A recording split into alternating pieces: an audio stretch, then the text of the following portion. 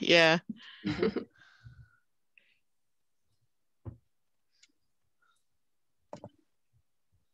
All right. Well, I think we're going to go ahead and get started. We've got 26 people. Um, on behalf of IU Women in IT, welcome. We are so happy you guys decided to join us this afternoon. Um, IU Women in IT is the staff affiliate of the Center of Excellence for Women in Technology. We're a professional staff led organization dedicated to the professional development of women in IT. Uh, my name is Coral. I'm IU WIT's Communications and Event Planning intern. Um, I'm a senior at IU, so this topic for our session today really hits home for me, and I hope it does for other students as well. Um, we are so happy that you guys decided to join us this afternoon. During our 50 minutes together today, we are going to cover everything from networking to interviewing, applying for jobs, and everything in between. We're going to start with a panel with four accomplished women in IT, and then after that, it'll be open for q&a and we would love for this to just turn into an organic conversation where anybody feels like they can ask questions answer questions share their experiences positive or negative um, so without further ado let's get started our four panelists today are chris bezzi melanie ebden ellen pruitt and miriam young uh, so to start us off panelists would you all briefly introduce yourselves I guess I'll go first since my name was Yep. there. Okay. Um, uh, Chris Bezzi, I am an alum of IU and um, an ex-employee. Um, 17 years at Indiana University working there. And a lot of years, almost all of that was also going to school. Not gonna lie. um, I currently am in Indianapolis, Indiana, and I work for Salesforce. I work in the IT um, project management. I'm a Scrum Master. So um, agility and um, delivering products is is my game. I'm glad to be here. Thanks for having me. Are we going alphabetically? I can go next. You can go next. Good, Ellen. Go. Hi, my name is Ellen Pruitt. I'm a Gary, Gary native and a um, alumna of IU. I graduated um, what in from what is now media, the media school, but originally it was telecommunications in design and production. I uh, started at IU working in one of the student technology consulting groups, and I was in it in about four or five different roles for over a course of nine years before I became a virtual app engineer working with the products uh, Citrix and doing virtualization. Uh, but in my previous role with the technology consulting, I did hiring um, and onboarding students um, every semester for that group.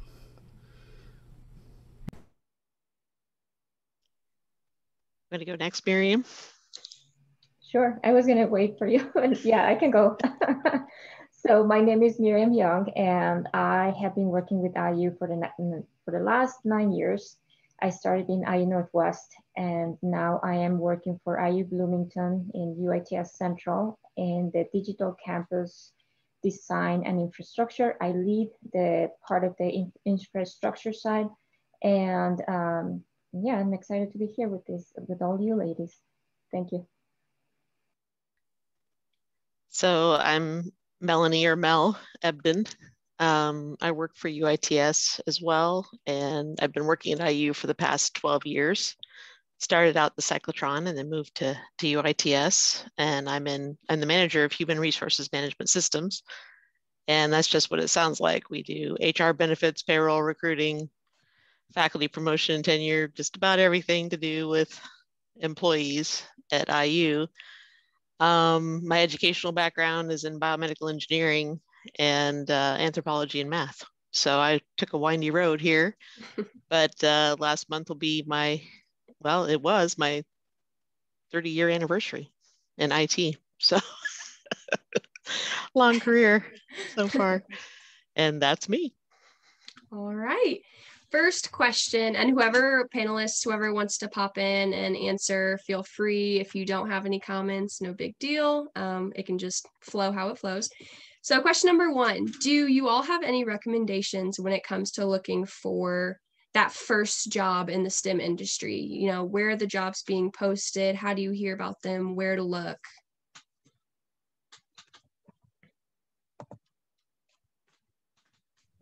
Well, for me, I, have got to put a plug in for some of the even the student technology jobs. I don't know if there are students here who are uh, not seniors. If you are not seniors, I would uh, definitely recommend looking at jobs in UITS. I know a lot of them do posting in the KB of just talking about their general job opportunities. So you've got Technology Center Consulting, and you've got um, You've got C jobs, um, and, and, jobs at IU. Yes, yeah, no, you. there you go.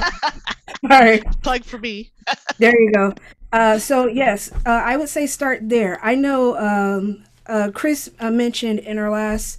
Um, uh, inf- no, I'm not going to steal Chris's thunder, but I, I, I, wanted to talk about your daughter, Amanda, because there's uh, a lot of those consulting jobs that we have at IU help create a really great portfolio when you uh, go to places. We had a, a Kronos um, do a lot of hiring from um, that student technology group that I was a part of.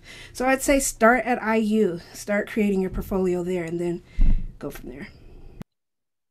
So I see a student at NC, North Carolina. Um, I would assume it's not necessarily at UITS, but your central IT system. Um, I, so I, I will go off exactly what Ellen said. Just get in there and and do a job because uh, in your in IT in general, just to get that experience um, while you're rolling your way through um, school.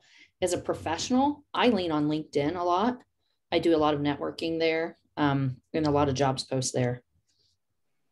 Yeah, I was going to say you will be surprised to, to learn that many of our leaders in the University Informational technology services, they started as student um, workers in the front line, answering uh, the questions from all the, the users at IU. And now they are VPs or managers or directors. So um, start there. Uh, you can ask also your, your professors for uh, also guidance on things that are open within their, the department, but UITS will always have an open some openings for students. So just uh, you can just start from there. I would also add um, going into organizations once you get well once you're in as a as a student and once you get out into the professional world going into organizations that map to your values because oftentimes you can find people who will be mentors, who will be sponsors, who will be people who will will help you in your career and advise you in your career as well. So getting together with other like-minded folks can can sometimes be extremely helpful as well. And I do I do use LinkedIn all the time. I use there are lots of jobs boards that are actually pretty good out there as well. I'm not just plugging mine, I'm plugging everybody else's too. So, so yes. All right, next. Oh, go ahead, Miriam. Sorry. Uh, there's one more. Um, so there are certain groups that do um, freelance, or they also have uh, groups of learning. There is one that is called um, Fire Base Camp, I think I believe, or Base Camp. No, I'll, I'll post the, the link in, in here, but uh, they create groups across different uh, cities or even towns, and they just uh, get together to build something for a nonprofit. And then from there, they start building their portfolio, and there are all, also people that will be seeking that talent within those groups, and they will call them in. And, and that's a good way to also create your own community of, of practice. Mm-hmm. That's a great resource. It would be great if you could throw that in the chat maybe at some point. Uh, next question. What is the biggest challenge that recent graduates face in the application process and the application pool? And then, by contrast, if you want to answer this as well, what challenges do seasoned IT professionals face when looking for new positions?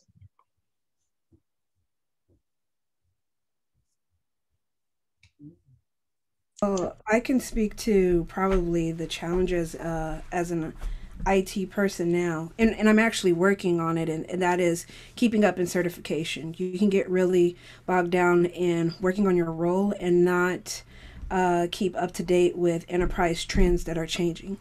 So I'll put a plug out there. Uh, for example, this week was Microsoft Ignite.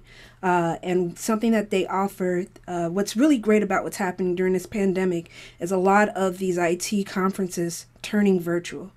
And I don't see restrictions on them. So to, to you, even if you're not in, uh, very aware of them, I would say check them out. Um, right now, Microsoft has something called a Cloud Skills Challenge that's happening through all of March. Um, you take one particular Azure uh, training track, and they will give you a voucher for a free certification. But then again, I've got to do that on my own time. But but that is probably one of my challenges. It's just making the time for training. So you never leave school, right, Ellen? you think you're done? You're not. yeah exactly. I think standing out's hard um, for anyone, no matter where you are in your career. Because I mean, there are a lot of jobs, but some of the job seeker or the the people seeking employees want like um, perfection, and so maybe even trying to explain how you might be per- not be the perfect fit right now, but you know, you're learning, you're willing to go, you know, the for you're willing to continue to learn, right, and that kind of thing. So I think those things kind of help you stand out too.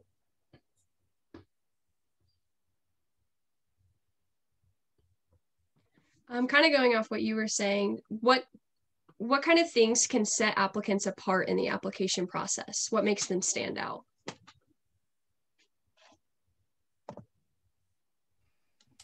I would just say um, the basics. I, I think that think very well about your cover letter uh, that's the first thing that will stand out rather. And, and, I usually go first with the cover letter and then just check on the credentials because uh, they will tell me why they're interested about the position. They will tell me about a little bit of themselves. And also I will, I will, I'm looking for the voice and tone in that cover letter. Um, you know, if there are, I can, I can tell if there is someone that is uh, optimistic, positive, their, their, their, their drive and, all the things that they want to offer and even um, add in the cover letter a little bit of what you have researched from the from the business from the company and highlight the things that you're interested or, or, or that you found um, you know right for your own fit. So i think that's the first connection that you will make with the company. So so, so think very well about your cover letter And I would say on the back end of that, if you get the interview, think very hard about your thank you note as well. Um, a lot of folks don't send one anymore. They just assume, you know, that well, email's fine, but they just assume that they don't doesn't need to be contact after the fact. And sometimes that contact after the fact is what gets you the job. You know, for instance, when I came into UITS, I was actually interviewing for a completely different job. And when I thanked them for the interview, they actually picked me up for another job because they thought I was better suited for that. So I didn't get the one job, but I got a different job because I was strong on that back end, basically. So because you want to you want to start to have that connection with the people who interviewed you, and sometimes you'll just impress them, and and sometimes you could, you could sneak things in that you wanted to say in the interview that you didn't get to or you forgot. in the interview. it's the afterthought sometimes that really that really seals the deal mm-hmm. for a lot of people. And so yeah, I would agree with Miriam that the cover letter is great. Um, if you can make contact with the hiring manager before the interview, that's also a plus. Sometimes that sometimes you can do that with the HR person or the or the hiring manager, not always, but sometimes. And then also, like I said, sealing the deal on the back end is really important.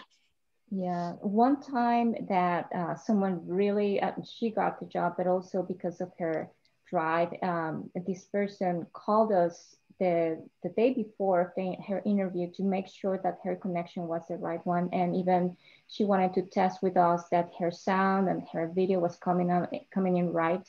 So right right from there, we were thinking she's at, she's really attend um, she puts attention to detail so I think those those little details that that can make you stand out, that those are very important.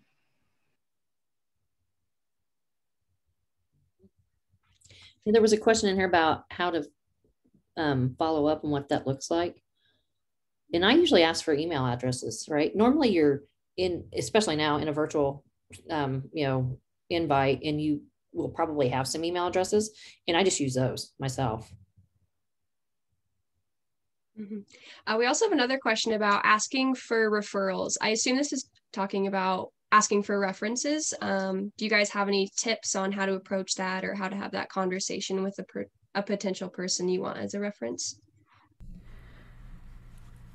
Um, I will throw in there that when I, I believe that when I went for my virtual engineer job, I went back to instructors from my field uh, that I did work in. So I didn't have enough, uh, like I went to the manager that I was working for, but it seemed like I just needed more of a range. So uh, I would say uh, create really good relationships with some of the faculty or instructors that you're connected with because those can serve as references as well.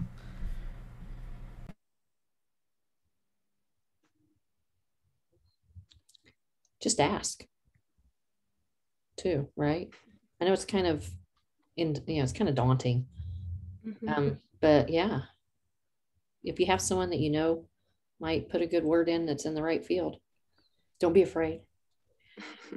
Well, and I, I don't I want to stress while you're in school, and this is something that I tell my college age son all the time, make those connections with your with your faculty, with your teachers, with the people, you know, with the people who are helping you along the way, and they might actually become mentors. They might be willing to refer you for jobs you know don't just go to a class expecting you won't connect with the professor or with the teaching assistant or whoever it might be you might find those connections very fruitful later on. And so, you know, my son loves his weather classes. And so the professor was like all over him. He just wanted him to, you know, go into the go into environmental science for sure. And so, you know, if you can if you can find somebody who shares your interests and who really wants to help you in your career, it's it's a wonderful thing. And you can use that going forward for many years beyond your your college years point. Yeah, I would say to you, join the mentorship programs that CEWIT yes. offers because that's a good way to get your coaching, your mentorship, and then that that same person can write you a, a nice, it can be your referral and write you a nice, um, you know, some letter of reference or, or recommendation. Uh, Claire asks, what are some tips for building confidence before an interview? And I want to add on top of that, so many interviews are taking place via Zoom and phone now. Um, how does prepping for that look now? When I started at Salesforce, that's all they did. Um, anyhow, and it was before pandemic. Um, and I think it is that testing the connection beforehand. You know, that stuff is incredibly important for it. Um, I don't know that there's any really good way to prepare for an interview. I study a little bit, right? Like I'm I'm coming in to be a scrum master and I've done it for a long time, but I don't, you know, put in my memory bank, you know, like I was trying to come up with this invest thing for, you know, breaking down stories in my other session. I was like, yeah, I Google that stuff. So I might like, so being remote, you can have a Google thing right beside you, right? You can have some like cliff notes and stuff. So I think there's an advantage to it. Well, I'd also say do your background. Like mm. don't have don't show your if you can avoid it, don't show your house or or anything in the background. Sometimes it ends up being pretty funny, but it's not always the best look for an interview. And I, I would also say practice with somebody else. Don't just study on your own. Don't just practice on your own. Actually go over everything with somebody who knows you and who knows your talents. That's a service that i provide to not only my you know not only to the people i know but anybody who wants to contact me. I actually will go through you know everything with them and, and help them express themselves on on the points that they want to make. And it's it's great practice to to be able to do that with somebody else. And and i did this with a with a friend of mine recently and she got the job and it was mainly because I reminded her of all the qualities that she has that match the job description, which she hadn't thought of. So, like I said, having that sounding board is really important sometimes. Yeah, and and look at some of the common interview questions. You can you can find a lot of those lists and some of those questions you can you can think about the answers in a way of a story because people will remember the stories, not uh, just yet common answers. There's going to be a lot of common answers to, to, of course, the common questions, right? But when you attach that to a personal story, people will remember that. I would say to, um, like Melanie said, just uh, ask a friend if they can they can uh, practice uh, together with you, and also um, just there's sometimes uh, when I go into an interview for a job, I, I um, uh, play some music that will make me feel like upbeat. So I have some uh, uh, some good selection of those um, just to help you feel like like you got this. You feel upbeat. Um, you present that energy in your interview when when you do that, and uh, confidence in yourself. I and I feel like uh, it's a process. The whole thing with in, with an interview and just finding the right person that you want to say, I want to work with you. Um, that's the first point. And also study the company so you can ask important questions about their projects or, or initiatives that they're rolling uh, out. That will that will make you stand out also in the interview because you make your homework. You're you're interested in the things that they're interested in in the strategies. Um, also ask questions about um, you know, how is, how is the team perceived across the, the company? So you can also learn if it's a good fit for you. And uh, finally, I would say connect very much with yourself, uh, know your strengths, know that that you are uh, willing to to give yourself to this company and uh, just you, you just need to know what what skills you're bringing to the table and also your strengths. So so study those. Take time to connect with yourself uh, looks like we had another uh, question in the chat. How to respectfully follow up with recruiters if you don't hear back from them? Um, I'd almost piggyback off of what Melanie mentioned earlier and just doing the uh, thank you letter. Um, to me, that's a really great way to follow up. Um, I guess uh, in terms of timing, I usually do like the one week, two week. Um, I don't know what uh, others think, but I I would definitely just give it time because they have to get through a round of hiring. So sometimes I don't take the fact that they're not getting back at me um, as uh, a reason for the job that I'm in. I think there uh, there were so many organizational time uh, challenges.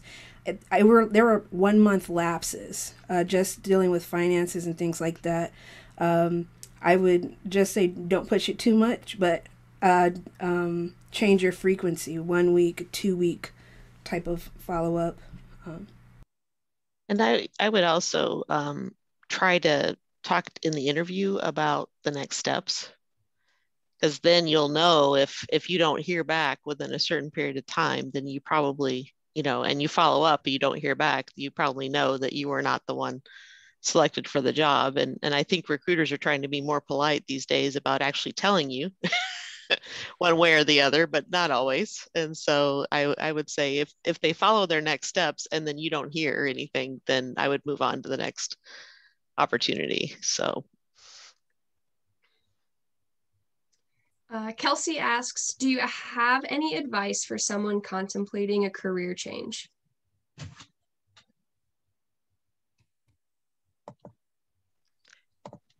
Well, I guess that depends on how big of a career change we're talking about. Thing, or how old are you? And I hate to throw age in there, but you know, because I, I, you know, I spent a decade helping my dad run a muffler shop straight out of you know high school, and I didn't start at IU until I was in my late twenties. You know, so I didn't start school until I was in my thirties, and then I kind of figured out what I wanted to do after that. You know, so I did a big career change. I think educating yourself in the place you want to change, trying to find links to people that are in that space to understand that space. Um, and I was in a session um, with um, Library Science not too long ago talking about um, some career changing and um, actually with Ivy Tech um, too. And you you might use your SME-ness, right? We talked about that a lot. So like I was in a car repair industry for 10 years, but now I want to switch to IT. Maybe I look for an IT company that does some car repair stuff, right? So that I can apply and I have some of those skills. Yes. She was clarifying that she's 30 and in nonprofit management. Gotcha. At this point, yeah. But yeah, I think edu- the education's important. I think the the contacts are important, and I think being able to, um, you can still apply for technical jobs even if you come from a different place if you can show that your skills dovetail nicely with what they're looking for. Because there have been jobs in my life where I wasn't completely qualified. I didn't have all the IT skills or all, all of what I needed, but I had the skill set that they were looking for that could grow in the position. So it's not necessarily a no right out of the gate. You can you can also try to see how to maneuver yourself with the skills you already have. Uh, would you guys say, just piggybacking off that question, maybe what skills you lack in that industry? Can you make up for that a little bit or really try to shine a light on soft skills you have or like those transferable skills that might apply to the new position? Yeah, I uh well in addition to the soft skills, when I look at the the job description, I kind of try to group how much like for um, example for experience. Sometimes it asks for a certain amount of customer service experience or or whatnot and i try to group and measure exactly how much experience i have in certain requirements in that role and see if there's ways to compensate for that. So if you're selling yourself uh, and showing that you're you're willing to learn sometimes you may be able to talk about, you know, how are ways that I can compensate for what I don't know. And there are sometimes you never know when there's organizations that will train you what when you get there. Uh, so um, I think it's easy for us to feel that um, we're not that everything that that we see listed if we're not 100% really well in those fields we won't apply for it and i would just encourage you to push past that and to try it anyway yeah, soft skills for me are very important when I am interviewing someone. So in my questions, I look for people that are good at teamwork, that they're good at um, dealing with um, adversity or challenges, or how they can be resilient. So I want to make sure that um, they will connect also with the, my current team. So soft skills are, are highly important for me more than you know how much you know about programming because I have had superstars in programming, but they cannot um, get along with the team or they they just do things on them, uh, by themselves and they are not good at following you know uh, guidelines or so to me it's very important that you that, that you work on those things you know how you know how how to make how to be resilient how to be um, make connections how to uh, deal with teamwork and, and all that kind of things. The emotional intelligence part of it, right? The, yeah. And I think, you know, hard skills are easier to teach and those are really hard to change. Mm-hmm. Um, we had another question in the chat. Is there a resource that you would suggest for identifying what skills you actually have? Uh, this person finds that they believe they have value in their job, but don't necessarily know what words to use to identify what they are good at or enjoy.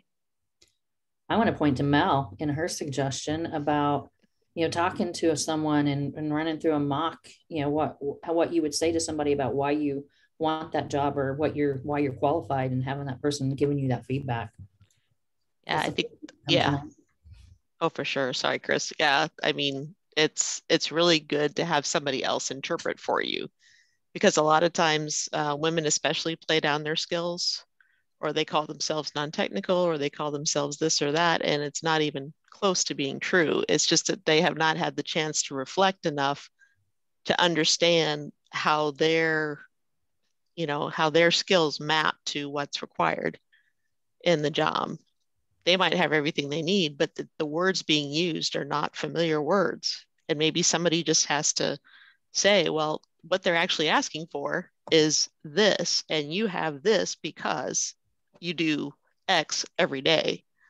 So these are the things that I think it's it's critical uh, critical to have feedback for. Yes, there's also the book Strength Finder they will give you a code and then you can, uh, it's, a, it's a survey or, you know, a list of questions and they will give you your top five strengths. And people do it all the time in UITS and across the IU system just to make sure that, you know, uh, in, in your career development, um, that's, a, that's a book that is recommended a lot. I keep my strengths handy. I actually have a little fold up behind me yeah. from where we with Mel, where we've done some, you know, some of that. And I just remind myself too of those on a daily basis. These these are your strengths, girl. Go for it. yeah, and I, I think that. well, yeah, and I think the the new mindset is to try to play to your strengths instead of trying to bolster your weak your weaknesses. Because you might not be as strong in some areas, but you're very strong in others. And so try to find positions or jobs or whatever that that enhance those strengths and that play to those strengths because you will always be effective in those roles. Just wanted to unmute and say thank you guys. Um, I a thank you in the chat, but I this was so helpful because I job bounced my whole 20s and now I found where I want to be, but I can't express what I'm good at, you know, because to me, I'm like, this is just what I like to do but I don't have an ability to say, this is why I'm good at what I do. So thank you so much. I can tell you what, uh, Rachel, you're good at being assertive. so that's one. Um, okay, so another question that I had is I wanted to talk about networking in the age of COVID. It's all virtual now for the most part. Um, what does that look like? Do you guys have any tips for navigating virtual networking events or anything like that? Because I would think it's a little bit different than in, in person. That's got to be hard, like to start out right now, because I networked um, in my like meetups in that type of thing but I think you can still try to attend some virtual events in the, uh, you know, the meetup is a great space it's a great space to kind of look for you know events. And and actually since they're all virtual it's actually kind of nice. I'm connecting with people in california and florida and you know it's some meetups. I'm attending like california agile meetups. I would have never attended something like that you know if it weren't all virtual. So try to use it to your advantage but it's also kind of rough There is also um, a meetup that is called Girl Develop IT, and that goes also by chapters. So there's one in Indianapolis and Chicago and different places, and they will connect you with uh, bigger companies. So they have, for example, in Chicago, the, the meetups are in um, in um, Groupon, for example, or they have had in, in different companies. So they actually make those connections and, and you can do coffee, you know, virtual uh, connections. And, and sometimes they have also events to prepare you to an interview or they can prepare you to uh, do some JavaScript or coding or whatever you might need. They are really good and I highly recommend those. It's Girl Develop IT.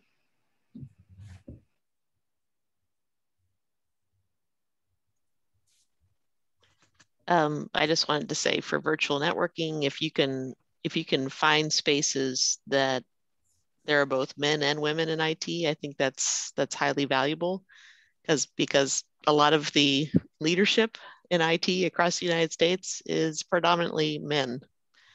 And so if you if you are always in all women networking sessions, you may not meet the people that you need to meet to to uh, move your career forward for instance. So, and then once you get into leadership, then you can change the game there. But until that happens, it's it's good to have a mixed group and to to have the men see you as a strong woman in IT who whom they want to hire, whom they want to to move up the ladder, basically.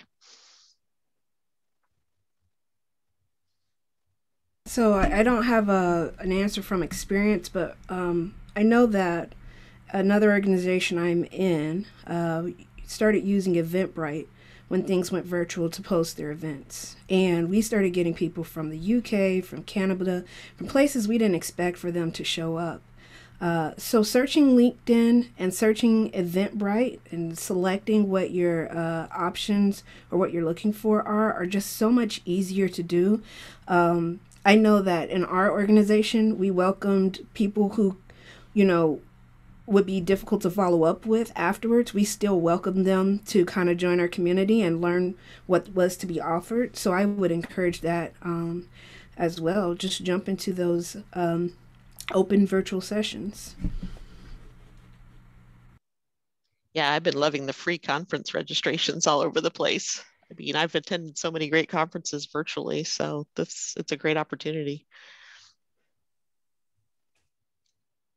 All right, the final question I have before we can open it up into a Q&A is, um, do you guys have any tips or recommendations for continuing your education as you progress in the field?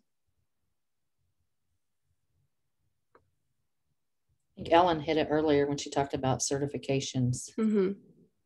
Um, those are always ever changing and ever evolving. Yeah. Lifelong learning. Mm-hmm. Well, and if you have a career path in mind, it's good to prepare for that as soon as you can because it might take you a while for to get from here to there. And so it could be education. Mm-hmm. It could be meeting some people who are going to teach you how to do the job as as your mentor or sponsor. It could there could be a lot of avenues toward your next move. And although a lot of us have had a windy road to get to where we are today that doesn't mean that it has to happen for you too because a lot of you know um, for chris and i back in the day you know computers weren't that much of a thing when we were in high school for instance and now they are so it's um, I think it's a better scenario almost for you for you coming up today uh, in college because you might have a, a good idea of what your career path might be and how to get from here to there. So um, yeah. I would say learn everything you can, basically, and find where your interests lie. Sorry, Marion, go ahead. Go ahead. No, I was going to say yes. Uh, certifications, books, but I would say also learn from your experiences, learn from adversity. Uh, every time that there is a challenge, after you have overcome it, over, overcome it, overcome it, um, you have to intentionally think, what did I learn from this? And that will, um, and, and what can I take ahead of like in the, in the next opportunity? What can I use from this? Because it's always adversity that makes us stronger. Um, I remember in the 2000 um, when the web bubble uh, burst and I lost my job. And from that, at first, I was I lost my job. I was pregnant. My husband was uh, a, uh, a student still, so we were like in a pickle there.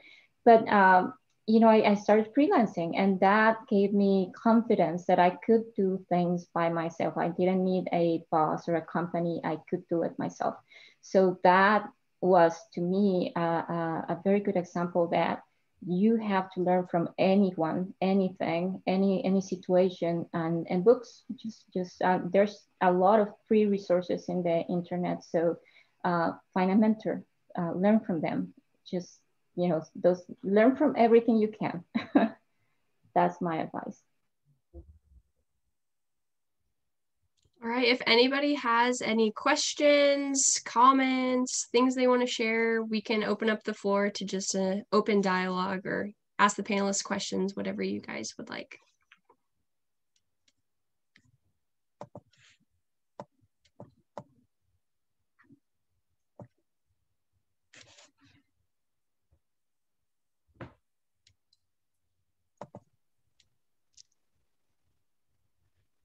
Something I thought about in some of the other questions was um, you may not always get the exact job you want to start with. And it's something I tell people um, with agility and, you know, I want to be on a scrum team and I want to be a scrum master. And, you know, I didn't start out as a scrum master. I started out, you know, as a, a business analyst on the team and learning. So it, it goes back to that learning, but it also is, you know, it may not be the exact role immediately, but eventually keeping the eye on the, the goal.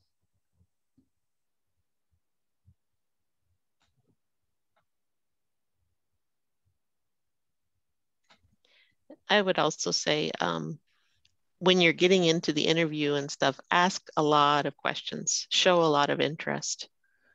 um, the mistake a lot of people make is they just kind of let the information come to them and then they answer the questions that they're asked, but then they don't ask about the company.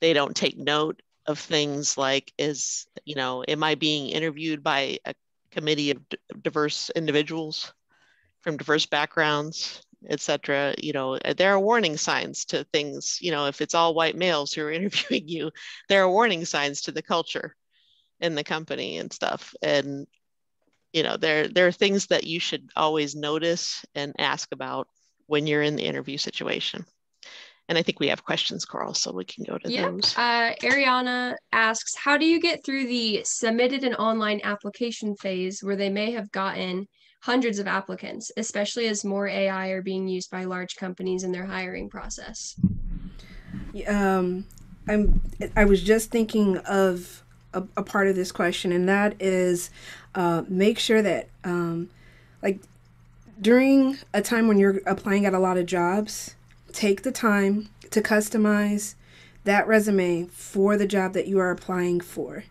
Uh, because those are going to hit keywords. If it's generalized, it may get missed. I've seen this ha- happen as we brought in uh, consultants for our, you know, it'll just it'll just drop them out. So definitely uh, do not generalize your resumes. Make them cater to the job you're applying for.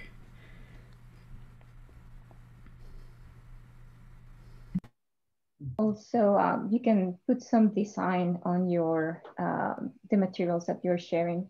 Your cover letter, it can have a, a logo. It can have something that you made yourself or something that you can access from um, from a stock photo or just make it you know standing out and also the the cv or the resume i think that it's it's um, something that is pleasing for them to see something that they can scan easily because uh, it's not just a list of all the things that you have it's, it's how you prepare it in a piece of paper and what are you highlighting of yourself? What are my strengths uh, over here in the left corner and in the right corner i'm going to put just uh, you know my my experience but then i also i'm going to put what i have volunteered for or in the scale of one to 10, how strong I feel about these skills. And you can present them in a way that they can, they can just see it right away. And, and uh, that will stand out very much. So, so put some design and, and just think about how people, uh, after seeing so many resumes for a couple of hours, they can just find yours and scan it in a few seconds and say, this person, I want to interview this person. Yeah, I think in IT too, you get so many just, you know, standard, just, you know, generic. Oh my gosh. And it's just like, but I also have had, so you, you, you say, I've also had people that have like put like their glamour shot on there and that one went to the wayside too. So, you know, you can go a little overboard on one side, but, but definitely do something because gosh, the, the stock resumes get old to look at. well, I always put my LinkedIn profile and my portfolio mm. on my mm. resume because if you want to stand out if you have work that you've done that that shows your aptitude for the job that you're applying for that you should always have that available for somebody to pull down and look at if especially if it's a visual thing to to pull down and look at it essentially and um, the other thing i would say is just to answer a question that i saw pop up it, if you can put your interests and your extracurricular activities in there or work them in somehow um, especially if they apply to the job that you're that you're applying for. Um, that's to me, it makes you a human being. It, it makes you, you know, not a cardboard person. You, it makes you a human being and, and well-rounded. So I like I like seeing that on the resumes for sure.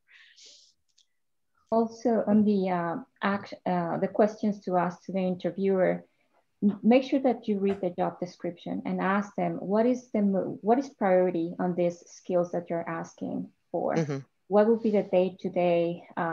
What does a day look like uh, for a person that will get this job? And what interactions they will have with other teams. So that, that means that you read the job description and you're already thinking about what will make a difference for the employer uh, in your job and, and what are they looking for? What are the expectations? Um, what are they expecting for you to, to achieve in the first month or in the in three months what will be the expectation so those things also help you you know get answers from from the employer and see if you are really interested in that in that job And I would say to build on that, um, I would ask them what qualities from my resume made you select me for an interview in the first place? Because that can get right to the point sometimes. Um, do you guys have any other uh, tips on what kind of questions you should be asking interviewers during your interview?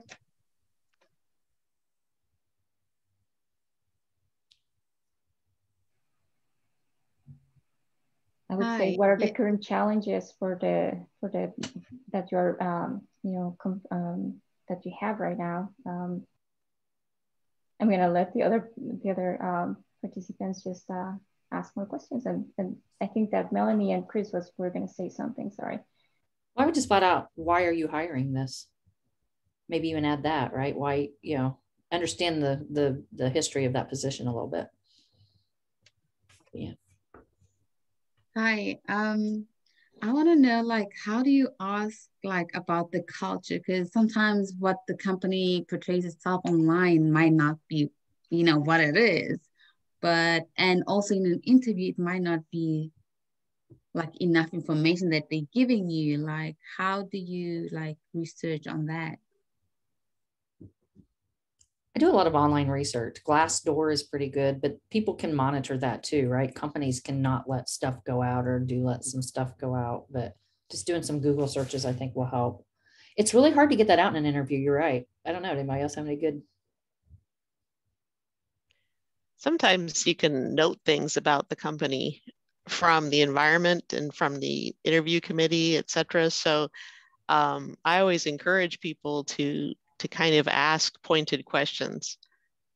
You know, if you want to ask about, um, you know, uh, it's hard to put this the best way, but you you want to ask about the demographics of the organization that you're working for.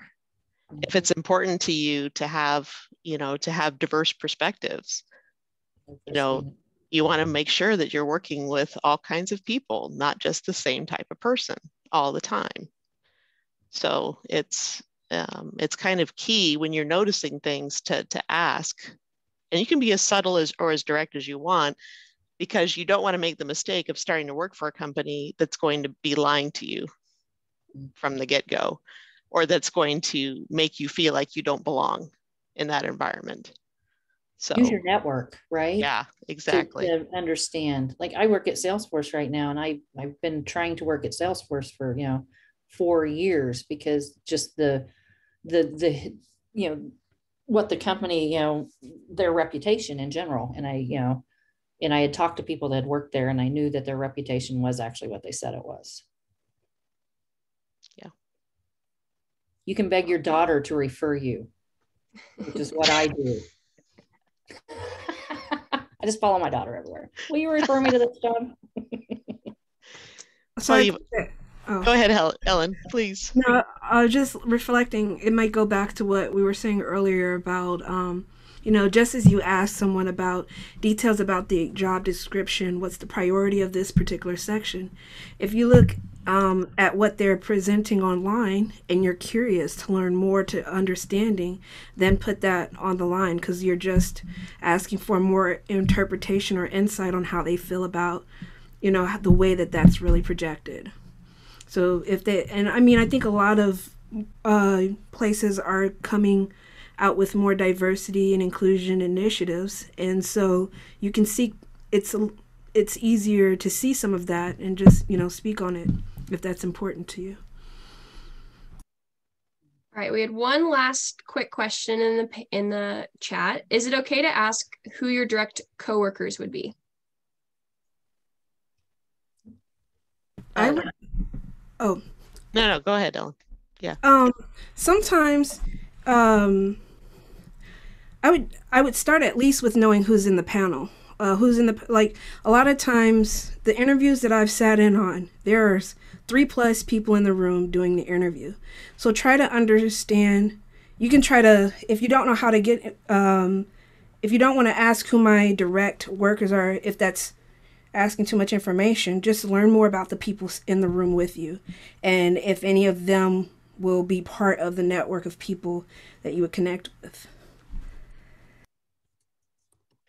And I guess in, in my, you know, what I do is I always have the interviewees meet the team from the get go because I want to see the dynamic of, of how they're all interacting together and how they solve problems together. Because usually what I do is I pose a problem to the to the interviewee and uh, and let them try to figure it out and then watch the watch the rest of the team kind of help them out and what questions the interviewee asks of the team and do they seem to be working well with one another essentially all right well we ran a little bit over our time but that you guys all asked such great questions. Thank you for your participation this afternoon. And panelists, thank you for your time. Uh, very insightful. I did want to plug real quick before we all hop off. IU WIT is sponsoring a speed networking session at three o'clock. So here in about seven minutes, and we would love to see you all there. Uh, it should be super fun and you'll have the opportunity to meet a lot of uh, different people. So I hope everybody has a great afternoon. And again, thank you panelists and thank you attendees. Thank you, everyone. Thank you, everyone. Thank and you. good luck. Yeah. Thank you. Bye-bye. See you in a little while. Thank you. Good job, guys. Thank you.